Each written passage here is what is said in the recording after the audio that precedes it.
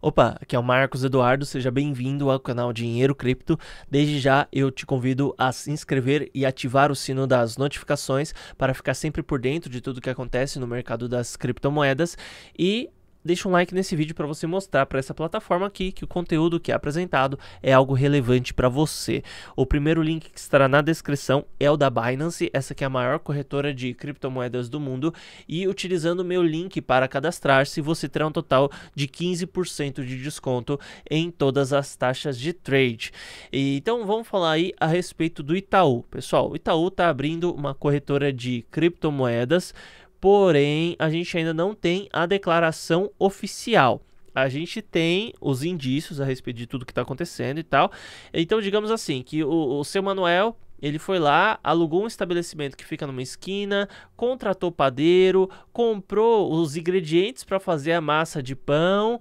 É, mas se você pergunta para ele, isso daí é uma padaria? Ah, não, não é padaria não. É mais ou menos o que está acontecendo em relação ao Itaú, tá? Só que a gente tem que ver é que durante muito tempo o Itaú ele brigou ele brigou com as corretoras de criptomoedas. Ele chegou a fechar várias, várias contas de corretoras e, inclusive, em vários momentos, sem mandar a, a cartinha lá que avisava as corretoras de que a conta estava sendo encerrada. Então, só para você ter ideia, o Banco Central ele ordena que seja feito exatamente esse procedimento. Quando você vai fechar a conta de uma empresa ou uma pessoa, você vai mandar uma carta informando que vai encerrar a conta e você vai utilizar, é, vai oferecer para a pessoa é, as motivações e os recursos necessários que ela deve é, se fazer valer para que a conta não seja encerrada. E infelizmente o Itaú não estava fazendo isso. Ele só ele encerrava, encerrava a conta, depois mandava carta, ou às vezes mandava a carta é, já com a conta para ser encerrada, enfim, e eles não davam motivação para isso e também não, não explicavam para as corretoras de criptomoedas por que eles estavam fazendo, aliás, como que elas poderiam evitar que a conta fosse encerrada, mesmo com determinação do Banco Central. A gente teve uma investigação oriunda do Conselho Administrativo de Defesa Econômica, que é o, o, conselho, é o CAD. E o tipo de coisa que foi dito é: ah, foi desinteresse comercial. E a todo momento foi perguntado para o Banco Itaú: olha, mas vocês são concorrentes das corretoras de criptomoedas?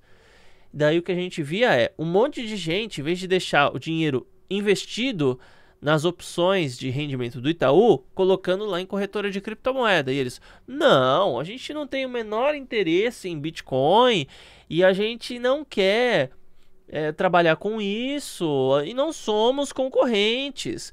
Ah, tá, mas os seus clientes então eles estão deixando de investir no seu banco para colocar dinheiro em corretora. É, e, e, não são concorrentes? Não. Eu lembro que na época a ministra Nancy, porque o negócio foi longe, foi longe, chegou em ministro, chegou a falar: é uma pena que uh, os bancos não trabalhem com a verdade. Ou seja, falou: pô, os caras estão mentindo na cara dura. E é claro que para alguém dizer isso daí, só sendo ministro mesmo, tendo certo grau de imunidade diante do que acontece. E no fim das contas, o Itaú, depois de muito tempo, ele foi reativar a conta da Mercado Bitcoin, foi reativar a conta das corretoras de criptomoedas, porque ele estava com os planos aí de abrir a sua própria corretora de criptomoedas. Então, para começo de conversa, o que, que eles fizeram? Vamos criar um fundo com exposição em Bitcoin. Eu já dei a minha eu já falei para vocês o quanto eu acredito que esses fundos são úteis é, para quem quer investir em Bitcoin e eu digo, qual a utilidade disso? Zero, zero bola, nenhuma. Por quê? Por que, que você vai colocar o seu dinheiro em um fundo de Bitcoin com exposição ao Bitcoin? Você quer se expor ao Bitcoin? Compra Bitcoin, você já está exposto. Né? Agora você vai pagar taxa de é, você vai pagar taxa de administração, mais a taxa anual de umas outras paradas aí, tudo quando você não, não, não precisa pagar praticamente taxa nenhuma. A taxa de trade é proporcionalmente muito menor do que a taxa que você vê quando quando você está no banco, né? Então, taxa de trade é ínfima, sem contar que é, a Binance, inclusive, eu ainda acho que está valendo. Se não me engano, a negociação de Bitcoin com real tá taxa zero. Né? Ah, mas no momento eles vão voltar. É, mas até então, se você quer, ah, eu quero investir mil reais em Bitcoin, você vai na Binance, você compra mil reais em Bitcoin, você não vai pagar nada por isso, porque você vai fazer um Pix para lá. Pix é de graça. A taxa para comprar Bitcoin tá de graça. Né? E ainda se voltar usando meu link para se cadastrar, você vai ter os 15% de desconto na taxa de trade, que ainda é bem menor do que as taxas oriundas do, do Itaú.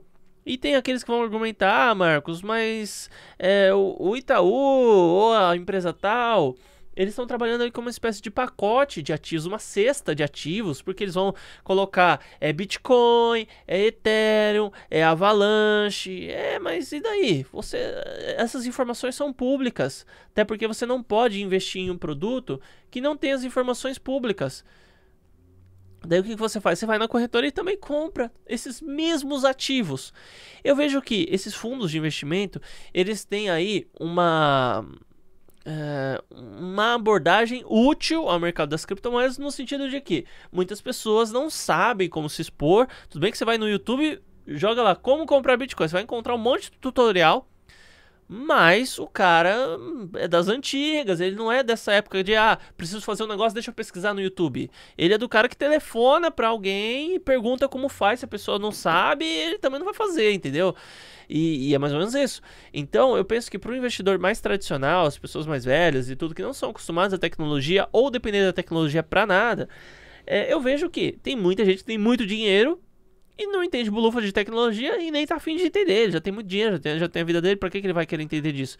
Então chega um gerente lá do, do Itaú, ó, tem umas coisas boas aqui, ó, investir nesse fundo com exposição em Bitcoin, com exposição em criptomoedas, ou até mesmo com exposição parcial, o cara vai aderir a isso. Só que até então, a grande ideia em torno disso aqui que eu tô trazendo para vocês é o Itaú, ele não era dono das criptomoedas e agora ele vai passar a ser uma empresa do, do conglomerado Itaú, né? Porque tem um banco Itaú, tem, é, enfim, várias coisas Itaú, né? Tem, tem até um, uma empresa só para RH Itaú, tem uma empresa só para não sei o que Itaú, tem uma empresa que é só para fundo. Tem... Então, o Itaú Digital Asset, eles estão aí comprando agora, enchendo o pandu de criptomoeda, sem contar que o Itaú acabou sofrendo no colapso da FTX, eles perderam dinheiro. Então, olha só, a Itaú Digital Asset, braço ligado ao setor de criptomoedas no banco, no banco, do Banco Brasileiro, vai oferecer serviço de custódia de ativos digitais a partir do ano que vem. O novo serviço, que deve ser lançado no, no segundo trimestre, pretende trazer os melhores pilares de, segura de segurança, governança e compliance, conforme o banco descreveu em nota à imprensa. Então, gente, Itaú ele não disse necessariamente que vai abrir a sua corretora, mas com isso a gente já começa a entender. Ele já vai já, fazer custódia de Bitcoin, é fazer estoque de Bitcoin. Ele vai oferecer isso para outras empresas. Você quer guardar Bitcoin? Guarda aqui com a gente, né?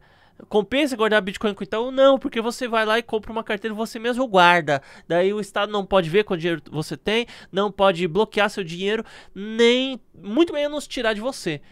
Mas, né, a gente volta aquele investidor mais tradicional e tudo mais. Esse cara, ele não vai querer saber dessa história, certo? Mas então é isso aí, gente. O Itaú tá construindo e criando gradativamente sua corretora de criptomoedas. E em breve a gente vai ver aí a choradeira da mercado Bitcoin, Foxbit e várias outras. E olha, vou dizer um negócio: Nubank deu uma pincelada no mercado das criptomoedas. O que aconteceu? Passou na frente de um monte de gente.